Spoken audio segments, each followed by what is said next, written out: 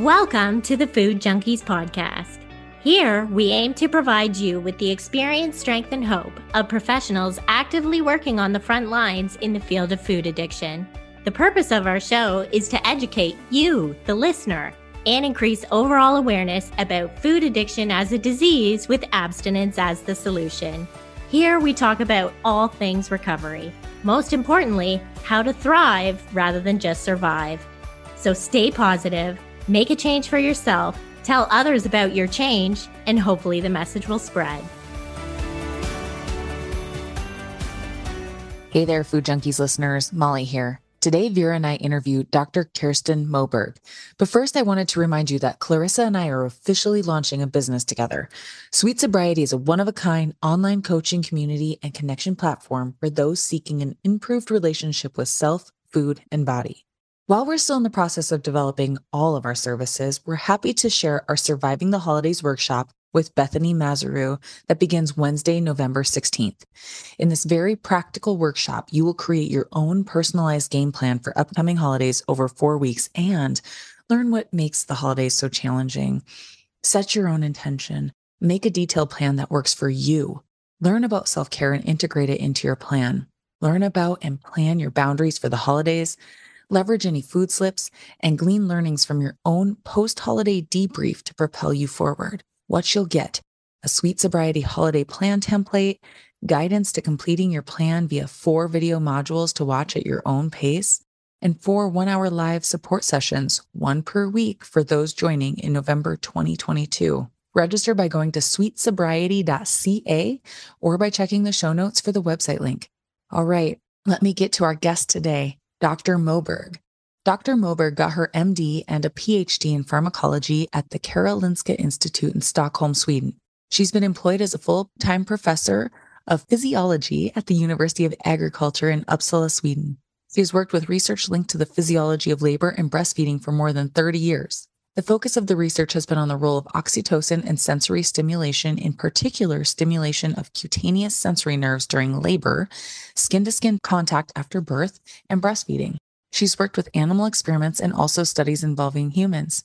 She has studied the physiological mechanisms involved in birth and breastfeeding and also short and long term physiological and behavioral maternal adaptations induced during birth and breastfeeding. She's also working with the role of oxytocin during human animal interaction and in menopausal women. So, today in this episode, we hear Dr. Moberg's personal and professional journey. What is oxytocin? The satiety system, volume, comfort, and emotional eating, the anti stress system, what ultra processed foods are doing to humans, grazing, oxytocin deficiency syndrome, pharmacological interventions, raising oxytocin, fasting, what's next, and our signature question. Welcome, Dr. Moberg. Welcome to the Food Junkies podcast, and my name is Dr. Vera Tarman. I am your co host today, along with Molly Painchuk. Today, we are speaking with Swedish researcher Dr. Kerstin Unas Moberg. That's the Americanized version of that name. Dr. Moberg mm-hmm. is a medical specialist in women's health and is a pioneer in the research about oxytocin. Oxytocin is the hormone of love and well being. And Dr. Moberg is one of the first researchers to explore the behavioral, psychological, and physical implications of oxytocin during birth, breastfeeding, and menopause. Dr. Moberg is author of over 400 scientific articles, as well as the books The Oxytocin Factor, tapping the hormone of calm, love, and healing, the hormone of closeness, the role of oxytocin in relationships, oxytocin, the biological guide to motherhood, attachment to pets. I like that one, see my um, um, and uh, why oxytocin matters. We at Food Junkies are especially interested to know the effects of oxytocin on feeding, overeating, and the role it may play in food addiction and recovery. So, welcome, Dr. Moberg. Thank you. Thank you. This is really going to be, I hope, very interesting talk because I sort of uh, find this topic so important. And also, as I will come back to, I think that the, the physiological aspects that I will try to bring to this mm. meeting have a little bit come into the background. It's okay, as great. if people have forgotten it. Yeah. We're not going to let people forget because th- this, I, I think this is a super interesting, well, I guess a neglected hormone mm-hmm. uh, chemical behind eating. So we're not going to mm-hmm. let that happen. But before we get into the science of that and the clinical implications, would you mind telling us a bit of your personal journey? How did you get from being a, a physician working in women's health into specifically the study and uh, research of oxytocin? What got you interested? Well, it's actually, I mean, it's it's a long story, and there are of course, always parallel explanations. but I think one of the most important thing is that I I had two children, and then ten years in between, and two more children, mm. and I sort of realized that very similar things happened. You know, you changed in a very you know, similar way during each pregnancy. And I had been told that everything is psychological, you know, but now I understood that this is not true. There are some very basic, I would say, physiological uh, uh, things that go on during labor and birth and breastfeeding and, and, and having a baby, which are there to help mothers, you know, even if they don't know it. And then I had some very nice neighbors who were mid happened to be midwives and mm-hmm. then i actually as we we did show that each time a mother is breastfeeding her entire gi tract is activated it is as if she's eating herself and i thought that was very logical because she you know if you want to give out energy which you do during breastfeeding there are probably physiological mechanisms that will sort of also regulate your intake. So actually, breastfeeding is a time when you are more hungry than mm-hmm. usual because you need you need to eat more yeah, to so compensate for for everything that you give out. So I started to. Sorry, yeah? can you explain what you meant? You said that uh, you noticed that women tend to eat. say the phrase again and, and sort of just explain what you mean by that. It's very interesting. Yeah, because when you produce milk during breastfeeding, yeah, I would say you lose a lot of calories in a sense, which is you know, ex, which is not which you don't do in during ordinary conditions. And then I thought that it would be very logical that at the same time a balancing system that would ensure that the mother, you know, takes in more calories because to compensate for this loss and normally in physiology, you see this balance between, you know, energy being given out and energy being taken in. So I guess there should be some kind of a saving system being activated at the same time as you are actually giving out. And then I started to explore what happened during breastfeeding. And actually, it was clear that each time, as I said, the mother was eating, she activated insulin. She activated you know the hormones that produce gastric acid you know to train the stomach. But she also changed her metabolism. And the system that's related to satiety was a little bit downregulated. Now i was very fascinated by this. And then I was invited, this is crazy, to a conference in California, which was actually held by the brother or the guy who created McDonald's. Because so I was invited to a farm, you know, with say 20 other scientists, and we were supposed to talk to each other for, for a week, you know, exchanged ideas and things. And I presented my data on, you know, the changed function in the in the gut. And then suddenly somebody raised his hand and said, Are you sure you're not looking at oxytocin? And I thought the guy is crazy. Uh. Doesn't can't he see that I'm working with insulin and these hormones that are controlled by the vagal nerve? And then I got it. And then I suddenly understood that oxytocin is not just, you know, a substance that's secreted into the circulation. It at the same time you have activation of nerves within the brain that help adapt physiological and also behavioral functions when oxytocin is secreted. So then I went back to Stockholm, and since then I've been working with oxytocin. That's perfect. That's perfect. So and and, and so your discovery that uh, when a woman is breastfeeding, she basically eat, the system regulates in such a way that she eats more. That carried you further. Yeah. So, so yeah. Let, us backtrack and just ask uh, or, or tell our listeners what is oxytocin and how like what's the oxytocin system and what are its various functions? Mm. Well, I think most people have heard the term oxytocin, and it is a well-known su- supposed hormone that helps with labor and birth. And it's, you know, it's it was identified 100 years ago, and it's been used clinically to augment labor, you know, for 50 or 60 years. Now, what was not known at that time is that if you look at the area of production in the brain, the hypothalamus, you can see how neurons that contain oxytocin go down into the pituitary to release oxytocin into the circulation. But you can also see a lot of neurons within the brain that actually project areas, all important, I would say, areas, including those regulating appetite, regulating energy metabolism, regulating stress levels, you know, all of these important things, anxiety and all things. And then it was obvious that these nerves were very, very sort of important to sort of balance what was happening when oxytocin was being secreted into the to the to the to the blood. Then somebody then it was also, you know, some smart people understood that you can't have a hormone that promotes birth and and breastfeeding without also adapting the mother to motherhood. And then they started to find these social effects of oxytocin. It was, you know, causing maternity and maternal behavior and things.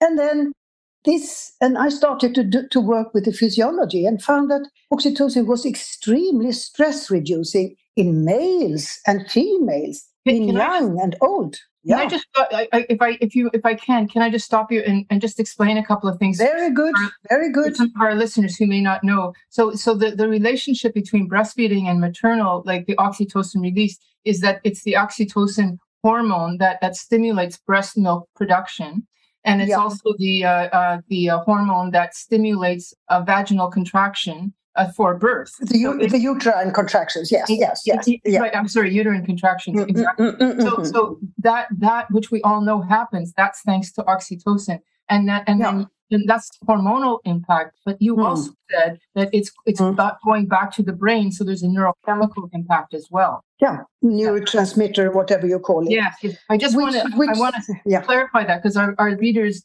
our, our listeners know about this stuff just to link to the information that we already have. Okay, go forward. Very now. good. Very good. and then, you know, we started to work with these other effects, which were more basic in a sense, because they have really nothing to do with labor, birth, or breastfeeding. They're more general. And mm. it started to come out that oxytocin was a hormone that stimulated social interaction in everybody, you know, in males and females, and also in, in uh, very small babies and in, in old people. And that it was extremely potent uh, stress inhibition, you know.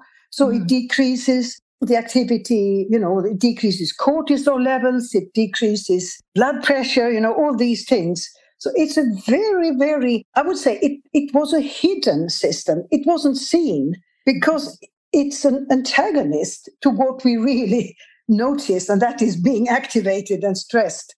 Hmm. But behind the scenes, we have this oxytocin in the brain that all the time make us feel better, calm down a bit, feel less pain, and also be less stressed in many ways.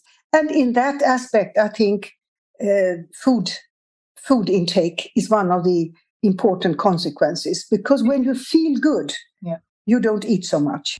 Before, we get, before we get to the food, let's just backtrack about just the role of oxytocin because there's a lot of information on what you said. You, one of the mm. things you said is that men have it. So how can mm. men have it? Because men don't breastfeed, they don't deliver babies. Like, where is that coming from? And then you mentioned babies. Like, how is that? What's the biological well, purpose of, of, it in, the, in those? I think we have to. It's a very important question because I think we have to sort of increase the role of oxytocin to, mm. uh, I would say, a reproductive hormone or a hormone promoting life. And that's not restricted to women. It's just that breastfeeding and birth happens to be major events, you know, reproductive events. But we are living all the time. Babies are growing.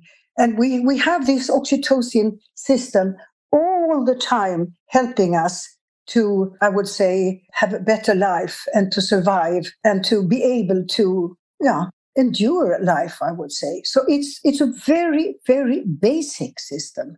And you can find it in fish and birds and even oh, down to fish. even down to earthworms and things. You can you, you find oxytocin like systems, you know, and, and peptides, which then make the them produce eggs and and and uh, there is also which is a kind of reproduction but at the same time it seems that also in very primitive animals oxytocin has effects on the social behavior you know closeness versus not so it's not it's nothing to do really with pregnancy or or, mm. or labor or birth it's much broader and much deeper Okay, so you were saying that it has something to do with feeding. Can you elaborate more on that, on our satiety and our hunger, well, how oxytocin? I would, I, I, I, would say that oxytocin is a very, very uh, important hormone in the sense that it, I tell you, it, it has something to do with, with survival, so to say. And one aspect of, of this is what we call,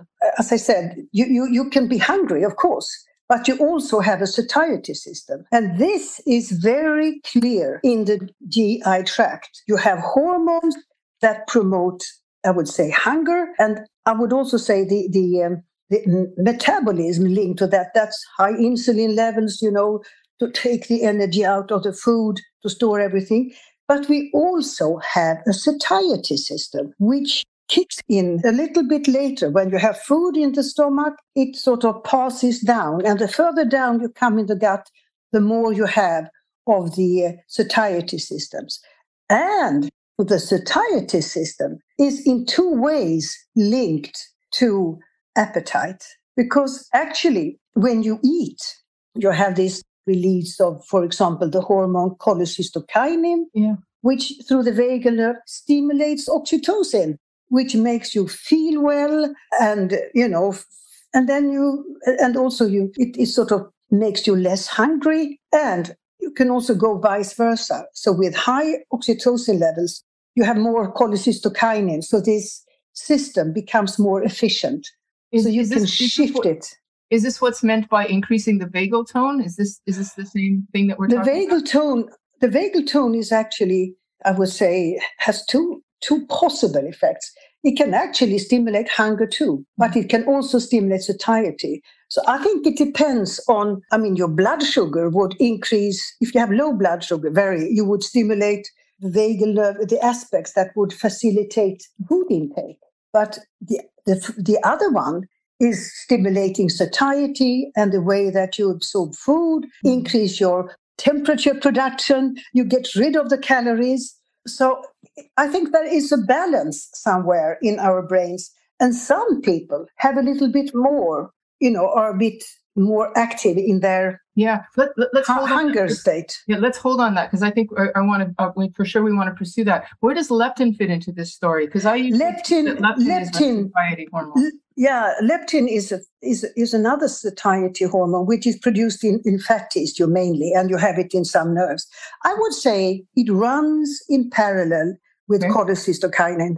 And but the, the thing with the cholecystokinin that it is located in the gut, so you can you can measure it in you know in response to a food intake, mm-hmm. whereas leptin is has another time curve, so but it's part of the same system. So they are all interconnected. And I would say these systems, you know, the satiety system is also linked to the dopamine system. Right. Oh my so gosh. You, Another thing we want to talk about. But yeah. So you have it, it's yeah. it's a basic satiety system. It wouldn't just give you sort of you know satiety from food. It would at the same time make you feel well. Mm-hmm. So there are oxytocin connections to the dopamine producing areas, which will then make you, you know, feel good and and and and uh, rewarded. I would say. Okay, so so just to, just to summarize here, so so the satiety system is driven by both leptin and also the C, CCK. Uh, no, or yeah. involves i would say involves yeah okay. it's, it's driven it's it's connected yeah it's connected. and then with that and with that is an abundance or a production of oxytocin which then gives that feeling of well-being after a full yeah meal. yeah it, it, it's it's part of a big i would say i wouldn't say reflex but an, an integrated response you feel that the satiety with CCK and leptin, and then in addition, you have the well-being, and yes. all of this can actually be, be induced by by uh, oxytocin because oxytocin would connect to all these systems. So it might that be an explanation? We're kind of jumping ahead here. I know Molly, because you wanted to ask about this, but could this be an explanation for people who eat a lot of volume because they want that sense of fullness, or maybe I they so. can't otherwise get it? Can you elaborate on that? Because that's like we are really trying to find what is the yeah. fundamental foundation of volume addiction, and could this you know, venue? In very, very good question. Because I think that uh, if you if you look at the activation of the afferent vagal nerves, it's it's a it's two things add to this. One is actually the presence of calories. The other thing is pressure. And of course, volume is the pressure component. So yeah. I would say that in some people, the satiety system may be a little bit weaker. You see, you need a little bit more to activate it. Mm-hmm. And that would be the volume, you see. But yeah. still, I think that you could, by central mechanism, perhaps by increasing your oxytocin system here, you might reduce a little bit the need for this mm-hmm. enormous uh, extra tension or pressure that you cause by by high volume. Right. But is it is it bidirectional though? I mean, could if if what we're actually seeking with that volume piece of the food is satiety, is oxytocin, right? Some of those things like oxytocin, serotonin, whatever. Then can we really call it addiction? I mean, can we be addicted to oxytocin? Can we, if, if we're seeking it, isn't it because we need it? I think it's it's a very very intelligent question, and I think that, that addiction has a biological root in this sense. That I think we need satiety. I mean, just like we have, you know, bondings to other individuals where we know oxytocin plays an important part. We mm-hmm. have, I think that food addiction is a bit of, of an increased bonding. It's too strong, you know, belief, because there is also this, as you say, oxytocin released by food intake, just mm-hmm. as it is by touching and, and, but somehow the intensity of the system that's linked to the gastrointestinal tract is stronger in some individuals. That might be genetic, we don't know. Mm-hmm. It might be consequences, I'm sure, by periods of too little food intake, you know, because then you, I told you, I talked about this balance between yeah. the part that initiates hunger and the one that initiates satiety. This is a critical balance for life. And I think that if there is a period, it might be during pregnancy, it might be any time, there is too little calories, like during a war or, you know, there might be an activation of the hunger system, which is the ratio becomes a little bit disturbed. And then, of course, there will be uh, yeah, it's easier to, to eat more. I think we see this in some people who has been on a diet, for example, mm, that yeah. it, it's definitely not just, it's not the same thing just to stop eating then, because not only could you know the hunger be bigger, you also metabolize the, the energy a little bit less for a while, which is part what I'm saying is this it is life saving in a, in a very primitive way. Yeah. That if if the body considers food intake to be the norm, you know, in the world, you'd better put on or or or or, or a pattern that makes you eat a little bit more. Now, can, can I just I just backtrack a bit because I want to really spell this out. I, I just find this so fascinating. So that a person who it, it would identify as being a volume addict would will probably say, or, or, or this this theoretical premise here is that the it's not so much the stretch receptors but the pressure drives the oxytocin which gives them that feeling of contentment yes? yeah yeah but it's more difficult it's it's more difficult to trigger in those and therefore they need they need more volume. You know? Yes, exactly. Yeah. And, and, and those are the people who try to control volume, maybe by restricting. And they will often say, it's not that I'm not, I, I want pleasure for my food, I want comfort. And, exactly. and some people will say they feel deprived. I personally have used the word, I feel deprived as if I'm motherless. Uh, yeah. I, when I don't eat food, I feel like my mother isn't there, and like it, it, yeah. it feels like a. But, uh, it, it's, it's a perfect, perfect yeah. analogy because it's it's related yeah. to the sense of touch. Oh and, and so it's, it's actually coming to very similar places in the brain. And in some cases, you get more from the stomach, and in some places, in some instances, you get more from, from the skin. But somehow the, the balance between these two inputs seem uh-huh. to vary between some people. But yes. it is basically the same mechanism. So yes. it's about comfort, feeling calm, allowing yourself to rest, and yeah. and and being and well-being. It's not it's not pleasure really. Yes. it, it's more keeping the balance. And, and wouldn't it make sense that the people who will will be the most susceptible you mentioned genetics but wouldn't it also be people who have had adverse childhood experiences? Absolutely. Develop a good maternal bond when they were children? Absolutely. Yes. absolutely. So this is also something that really hasn't been explored i think but knowing what i have from my sort of I, I know physiology very well. You know, before I started working with oxytocin, I had worked with GI physiology for 10 years and stimulated nerves and things. So I think that it's, as you say,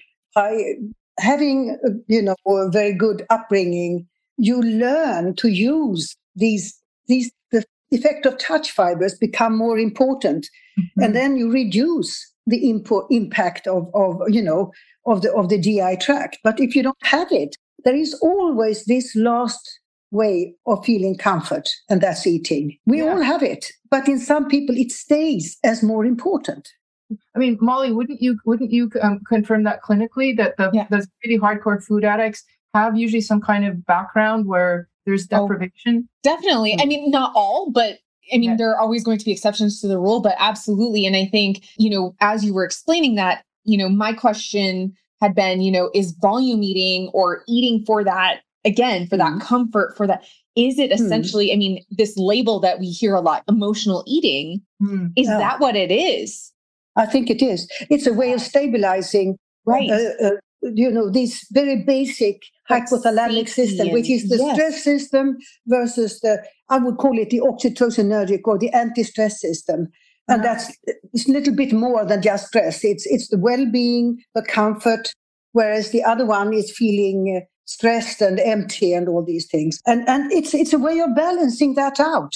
And and then of course you have after a while it gets conditioned and you go on and you do things because it's it's it's suddenly in the walls so to say so I think all everything around feeding is easily conditioned. But is it and new? Like, is this phenomenon new, or is this like biolo- I mean, is this our wiring? Yeah, I think like it's our wiring. Okay, wiring. so it's not new to today's modern food environment. No, okay. no. I'm yeah. just sure that every time has its triggers, and we don't have this extreme. I mean, look at hunters and gatherers. There must have been periods when there was very little berries or mushrooms, and then they would eat whatever, you know, when they would fill themselves with, you know, anything. So I, it's a very, very old system.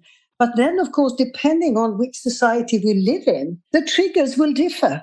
And yeah. and in and and uh, and that, as you say, it might be experienced to to as you say, bad experience during your childhood, which will also change exactly this balance where the stress system, I would say, becomes too strong and, and the efficiency of this anti-stress system too yeah. weak.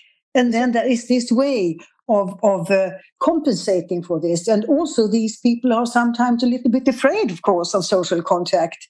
So again, you have this this this ultimate, you know, source yeah. And, so, and so, but what, mm-hmm. what, what, what you've described here is kind of the hormonal deregulation, and really what you, the body's trying to do is regulate. And and and, and yeah. Molly, I would just add to that that the addiction part is when the it, the wiring becomes fused in a particular way, and then causes all sorts of havoc. So the, yeah. I, in this in this context, it seems like the hormonal starts, and then the uh, addiction, the pattern behavior, causes the, yeah. the uh, yeah, and then that's extremely hard to break, which we should talk about. That's treatment.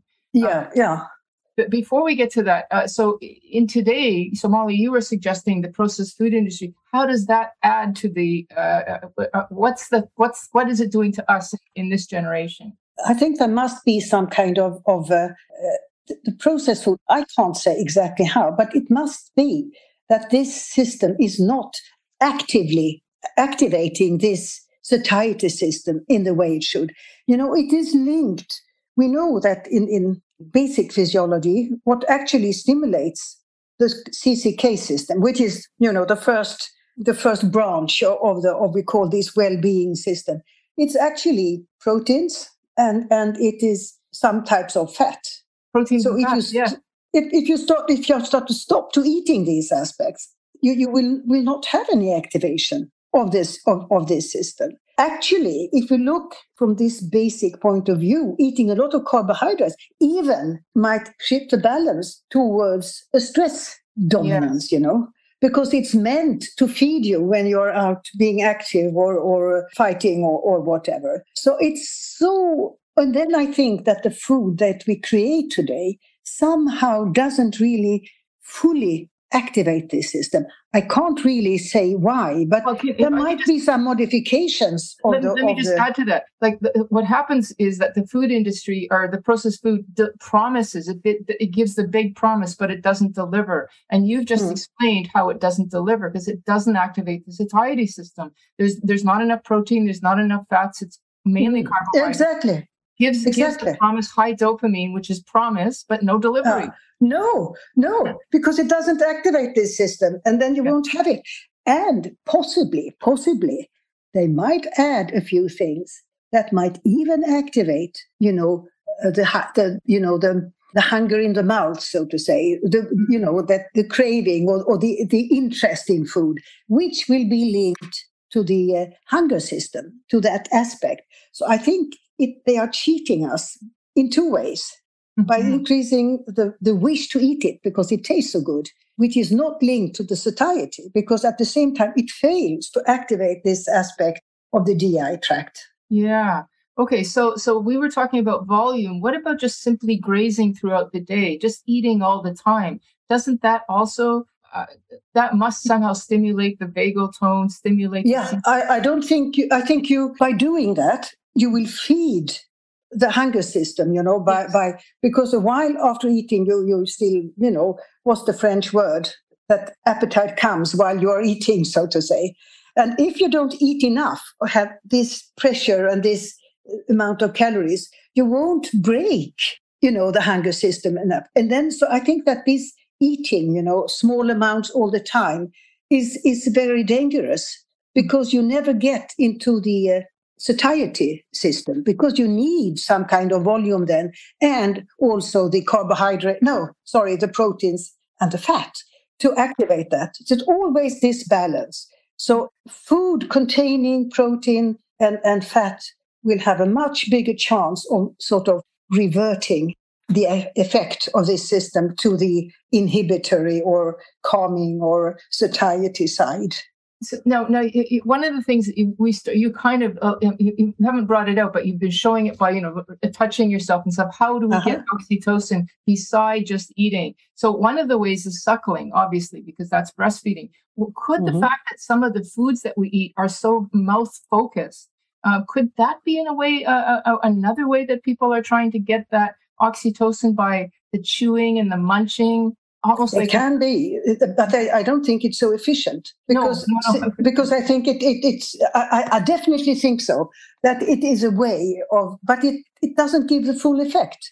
No. It stays with a more proximal effect, which is actually wanting more. It's not sort of breaking the wish to eat because then you need to get further down and have more solid things. I don't think it it's enough with a lot of cabbage either. I think you actually need need the, the calories to break this unfortunately there are some very interesting studies there is some japanese people who have worked with the oxytocin system and they have found that you can actually by increasing the activity of the oxytocin system in the brain they give more oxytocin they can see Mm. how the function of the of the of the GI tract normalizes. You know, you don't get this. Uh, there is often you this this uh, retention in the stomach that you don't. It doesn't pass as quickly, which is also probably experienced as unpleasant. Uh-huh. So you normalize the transit of food, and most likely also the balance between what we call hunger and and and satiety. So we are mixing or fiddling around with a very very basic system that wasn't. I mean, in in when these systems were created, we didn't have these problems, did we? I mean, we had to eat what we got. Yes. And that was some food, some proteins from time to time. And and and then it was what what the forest would offer you. Yes. That, that do you believe in let's now just move to the next concept of oxytocin deficiency syndrome. Do you believe that such a thing exists? There are yes, I do. I do. I do.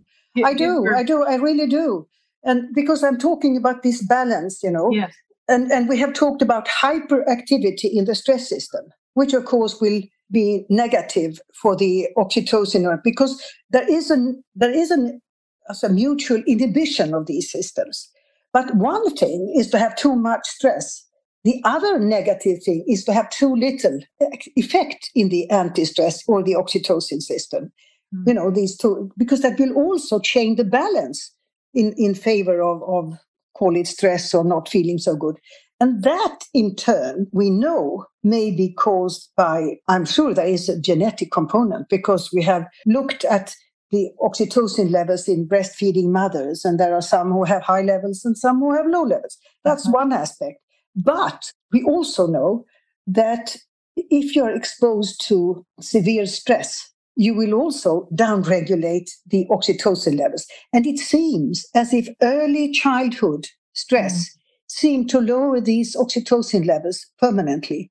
I have seen data showing that it is possible to reverse these effects a little bit because you have a, because if you can get rid of that you know cyst, the stress or the noradrenergic mechanism whatever that inhibits it's it's still there. It's still there. And that's why we sometimes see that people who have problems with humans they can get a lot of oxytocin by dogs because you know they are not uh-huh. imprinted imprinted in the negative uh, experience somehow. Now the other thing is that i also think that you need to train the oxytocin system. It's like a newborn baby. In order to have this oxytocin system being activated, you need the stroking, the touch, you know, the friendliness, the contact, because each time you will activate the oxytocin a bit. And, and the maternal gaze. The maternal, the maternal gaze. Yes. And when you get these things repeatedly, you get to a higher level, so to say. So it's it's actually you can have a lack of stimulation and you can have an inhibition by stress. There are a few studies uh, which show that women who have uh, some, uh, you know, problems with their uh, mental, uh, you know, w- w- too angry or too or postpartum well controlled. Not really. What okay. what do we call them? You know, these are a little bit too impulsive and, and oh yeah, uh, yeah, border, borderline personality. Exactly. Yeah. They have lower oxytocins, and it correlates with neglect. You see? Yes. because so what happens might... is they, they, they become hypersensitive to touch because they don't they haven't trained their system to absorb yeah. the touch or to absorb. No, they can't. They can't trigger the satiety effect on yes. it. Exactly. Yes. Okay. So it might be a little bit of a, you know, genetic component, but definitely this is the case. And what, so I think that. Can I, let me just say, what about a, a non-vag, like a C-section, like a non-vaginal delivery? Mm-hmm. There's no oxytocin that's being introduced initially to baby. What about that's a major mega question because okay. that's actually what so I'm part of some studies now where we are ah. exploring this. So my but you also lose the cortisol, you know. So a C section mm. takes away activation both of the cortisol, which helps mature organs and things, and of the oxytocin. So mm. it might be that these, these individuals start at a lower level somehow. And, mm. and nobody thought that these things could have long term effects.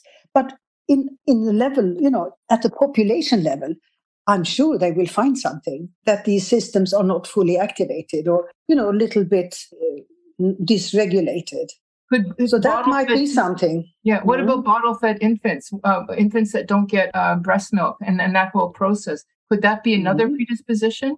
Yes. And not only that, not yeah. only that, because the breastfeeding baby mm-hmm. does doesn't yeah she or he gets the milk with a lot of good fats and proteins, but they also at the same time yeah. get the the closeness and they suckle so the yeah. stimulus suckling is very good at activating the CCK.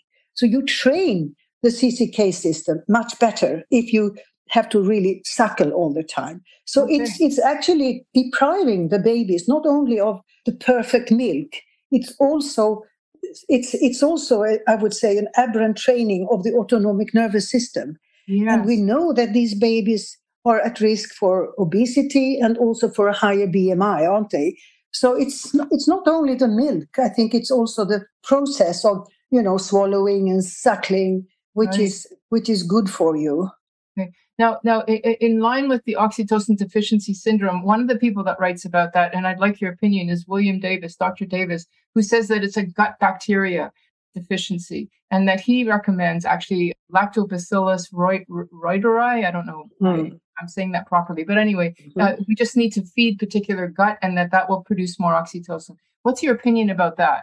I know that there are some links between uh, lactobacilli and oxytocin release, but that's just part of the story. It's yes. it's it's one aspect uh, that you can, and that's been known for long that that uh, lactobacilli would enhance the activity in the serotonin system and everything. But it's not the whole story. It's part of it. It's part of it. And of course, if you want to trigger your system, you should maybe use several many ways. Okay. And the lactobacillus, but I don't think it will uh, do the do everything. But you can. It's not a negative thing to use it. Okay. And and then the other thing about the oxytocin deficiency is that another a Dr. Carolyn Davis, actually who is in uh, in uh, Ontario, Canada, talked to, uh-huh. she actually found research to link oxytocin deficiency with an increase in addictive eating. Uh, so she doesn't explain the causation, just that there is an association between the two, which is what yeah. you've been saying as well. That's exactly what I'm saying. That you have an imbalance then in in in in the satiety part of the system is a bit weakened yeah. And and then then of course you will have more the risk of eating more if there is a reason for it will increase. And then we have this very very un, un, unfortunate link to conditioning or or to because food intake, you know. Yeah.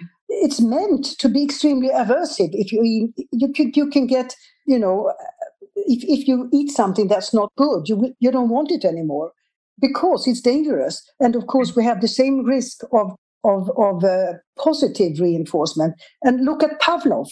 Pavlov is all of this. I think Pavlov's work is absolutely fantastic with his cephalic phase, you know, looking at, listening to something will immediately trigger the gastric acid and all these things, which is the proximal part, the hunger system.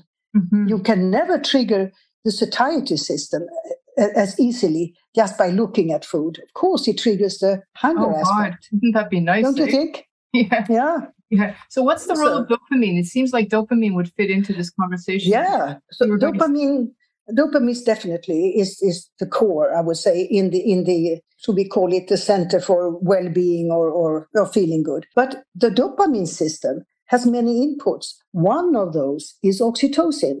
So, one of these nerves go from uh, from the you know areas in the hypothalamus to the striatum to the nucleus accumbens when you eat. So it's it's it's actually a system including well-being and, and satiety and, and sedation or you know calming down which is also part of something that's very good. And so i think it belongs together as a very basic system linked to relaxation feeling good you know okay, so, being so, allowed to rest and so, and, so and sorry. So we have a, a, client that comes in, and it's clear that they're they're they're disordered. Maybe they've had a history of uh, maternal deprivation or some kind of deprivation uh, as a child. Now they're eating in a disordered way. What's the treatment? You said that we can learn to train our oxytocin system to go right or wrong. Can we mm-hmm. retrain it? Can can we once we see that there's a person with a problem? What do we do? Is there something we? I, th- I think well, I haven't worked with this, but if I sort of yes, try to understand it from my from my physiological knowledge or, or picture on this, of course, th- there must be some kind of uh, getting rid of of these daily triggers. You know, whatever if it's something you eat or if something you are, and probably having very sort of regular food intake and increase the, the, the amount of protein and fat. Not be afraid mm-hmm. of the fat and then I think that to increase the amount of oxytocin from the skin, swimming, taking a hot bath,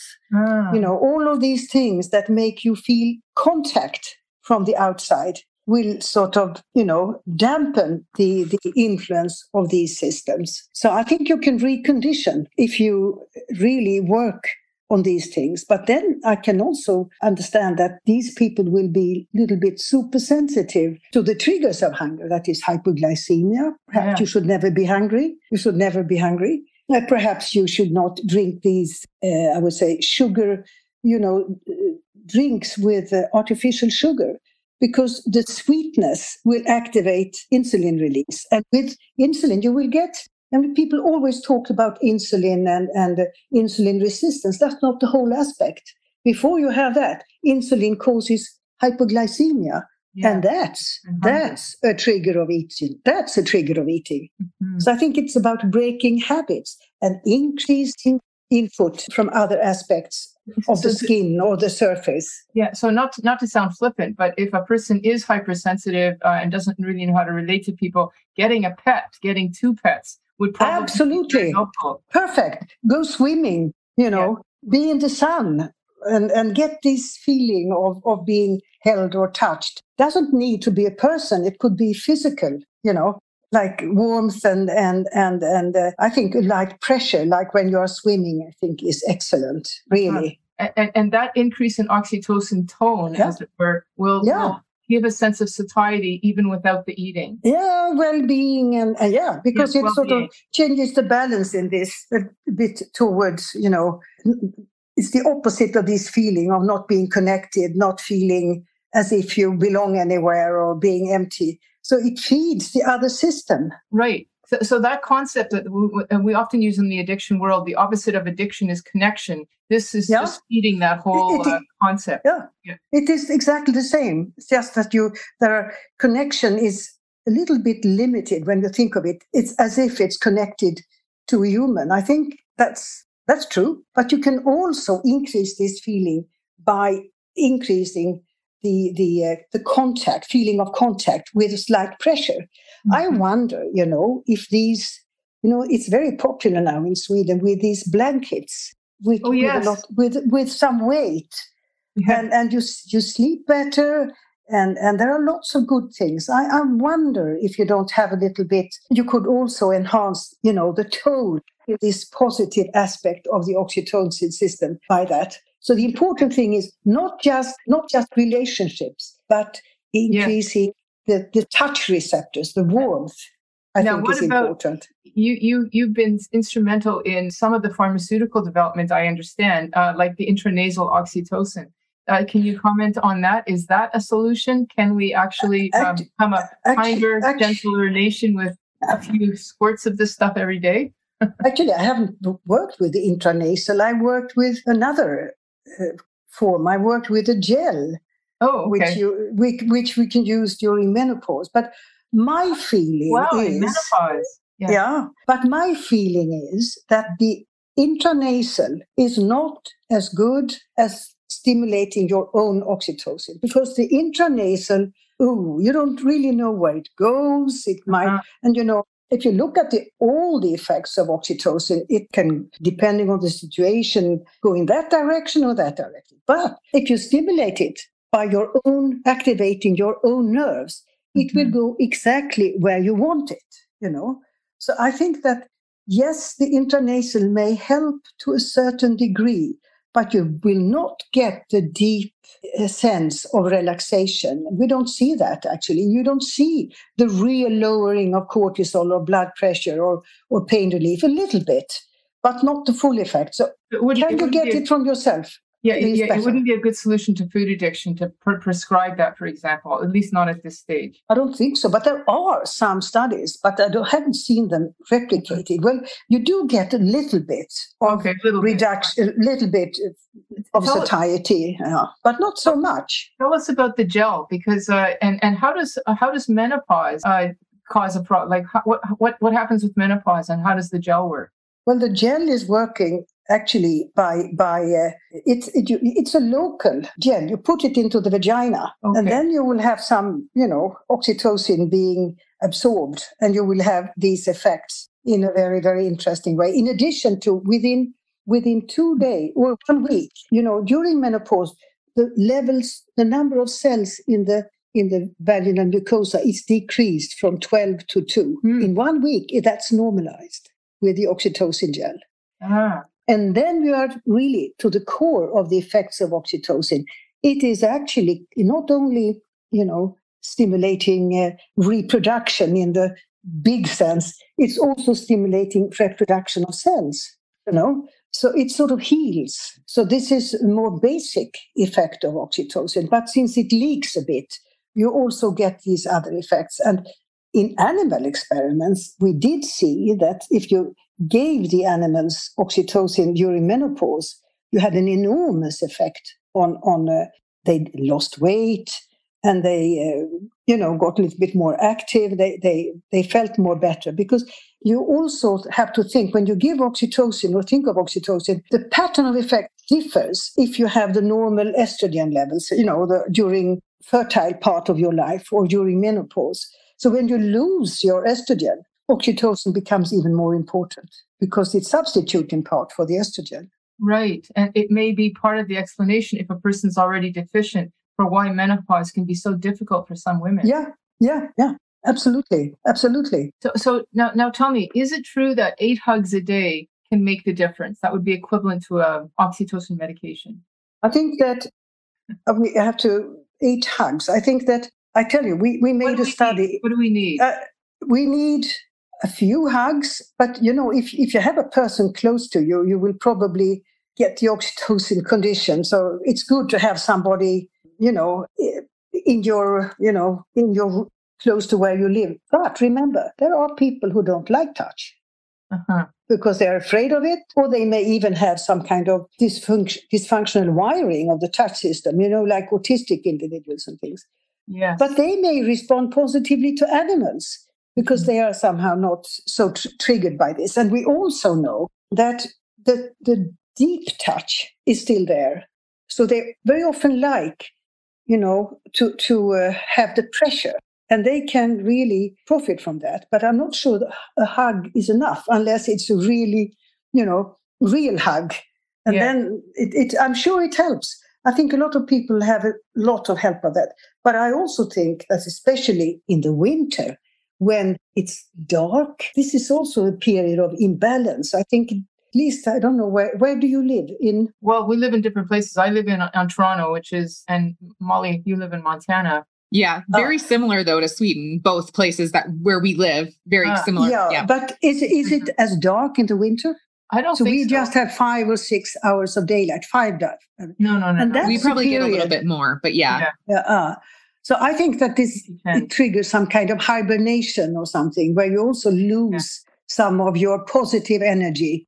So things get worse in the winter, I think, very often because of this uh, adaptation to, to the environment. I think we shouldn't forget that that it's it's it's a kind of a depression, but not a real depression. It's a down regulation of of uh, energy to to uh, which is long it's it's a remnants of a very old system. I think it is.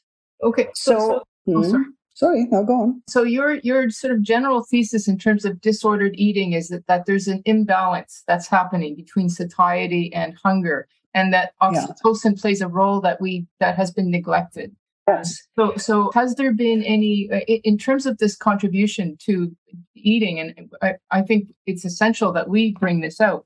Molly and I and mm-hmm. food junkies and all the people in this field, uh, because I'm sure that it's a huge role in food addiction. But have you had any? Uh, what's been the general response from the medical community? Has it been embracing of your idea, or has there been pushback? What's where? Well, where are you with that?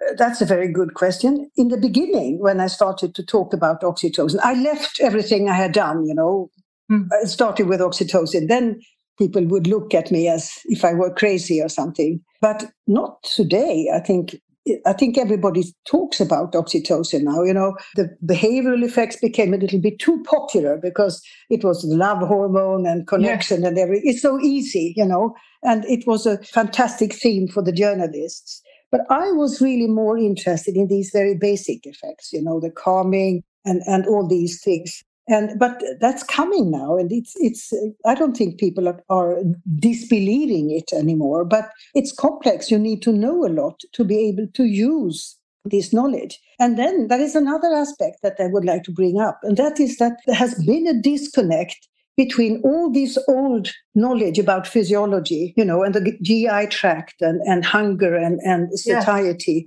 yeah. and and the new new research where they always sort of it, it's more linked to to uh, being uh, you know eating too much because it's so pleasurable.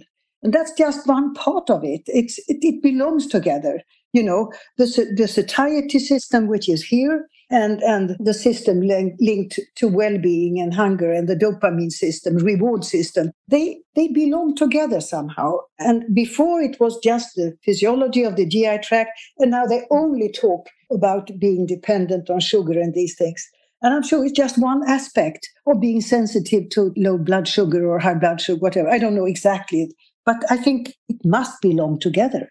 Should be part of the same system that's dysregulated. And there are different aspects of this. Okay. And so so the if, if i wanted to have a summary for our listeners in terms of what what can we use from this information it would be essentially in this this dysregulation or or lack of balance one of the things that we need to do aside from eating more protein and fat is uh, find ways to get natural oxytocin so that our hunger for closeness can actually be achieved the way it should be, which is through touch. Uh, yeah, which uh, will automatically decrease the the hunger uh, the hunger system. Yeah. But I would say it's the same system that's activated by the food in the stomach. It's the same, you know.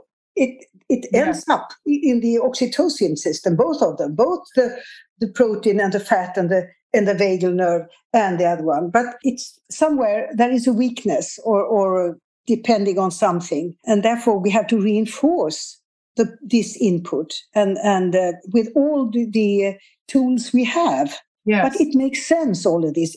You know, lactobacilli is one yes. of many that by which you can activate the vagal nerve. It's not wrong, but it's definitely not the full story. Yeah, no, no, no. Uh, well, hot tubs, massage. Uh, uh, massage, oh, and the pets and the hot water and, and the bath and swimming and, and yeah. being in the mid, you know, uh, sunbathing, everything of these things that make you feel good. Don't forget the physical contact. You don't always need a person there. It could also be, mm. I mean, non-personal systems that help you with this. Maybe, maybe these blankets, you know, with some weight in it. I wouldn't be surprised because it does make you sleep better. and and and uh, and uh, it, it activates your calming systems. So uh, I think so. Uh, you, many many different ways. Have you tried I haven't, Sounds like well, you have. My, my children, my children have them, and I have, in fact, tried a few times, and I, I think I think it was fine. I haven't come to the to the decision to buy one myself, but I might do. I might do. really, and then of course, social company all the time It's, it also adds to this. I think also, and and avoiding avoiding stress would probably be important too. You know, because that would the, the balance here is easily shaken, and avoiding starvation and all these things that would also sort of help the negative system a little bit too much.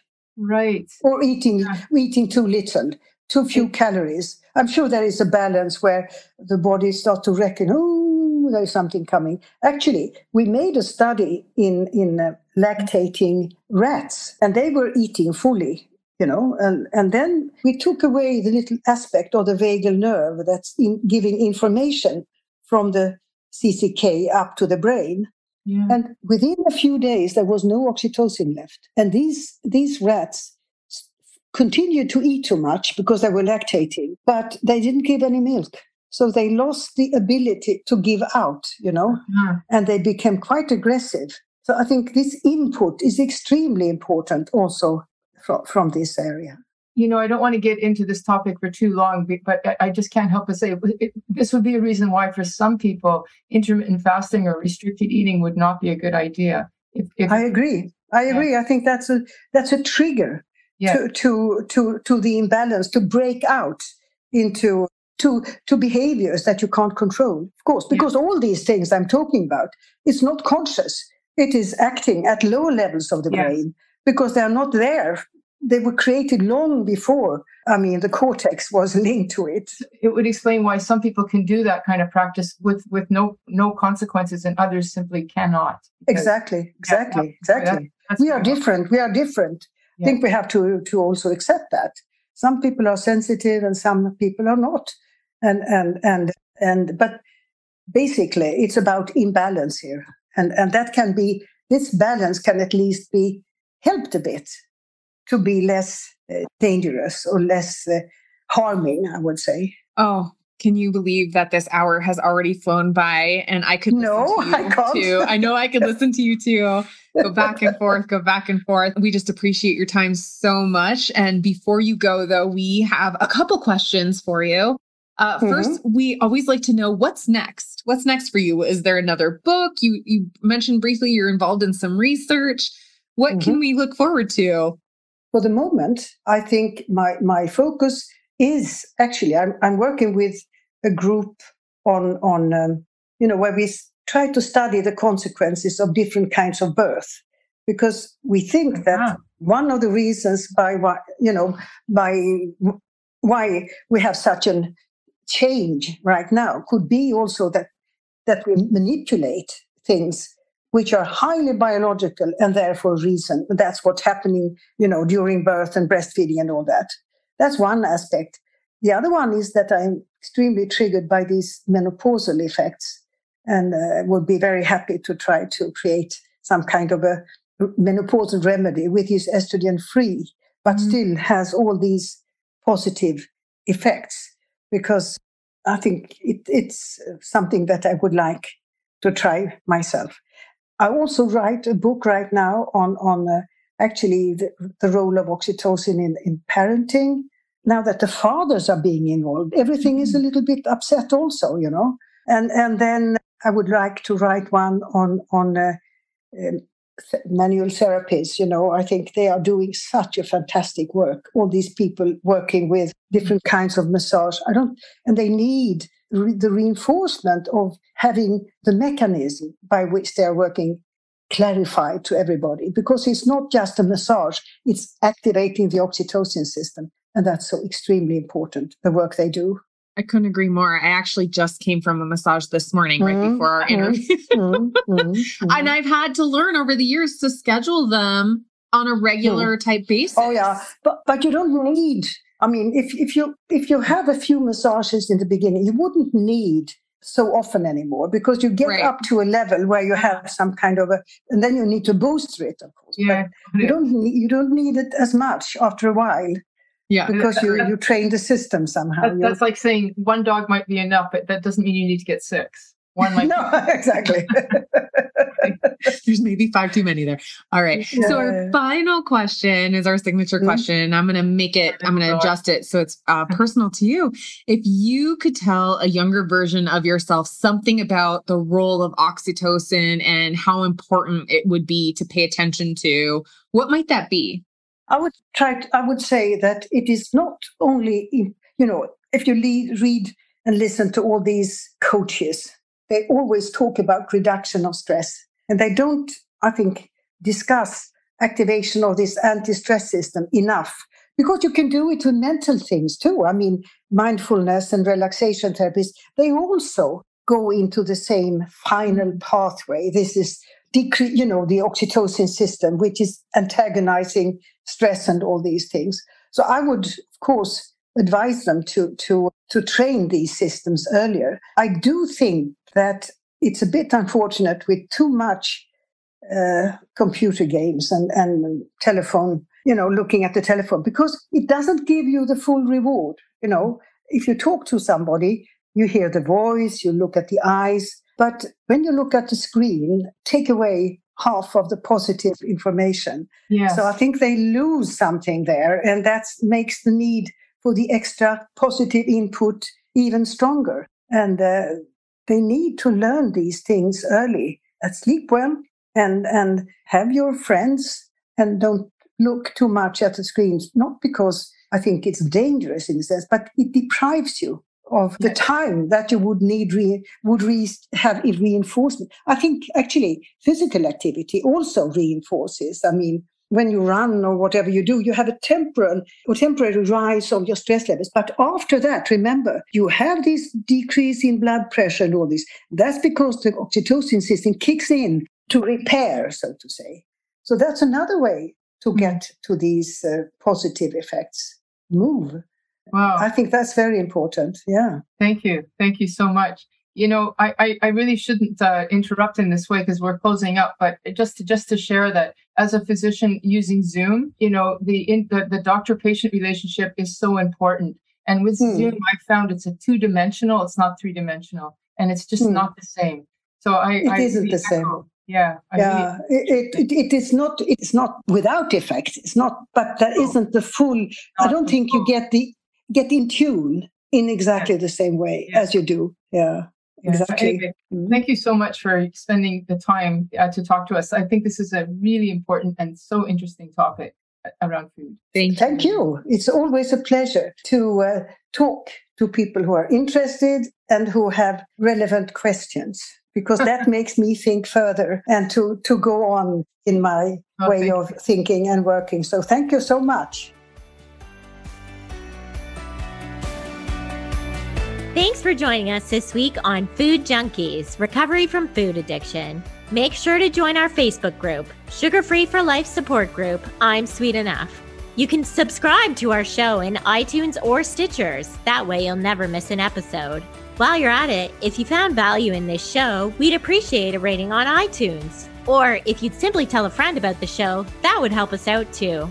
Don't forget to pick up your copy of Dr. Tarman's book, Food Junkies, which is available on Amazon.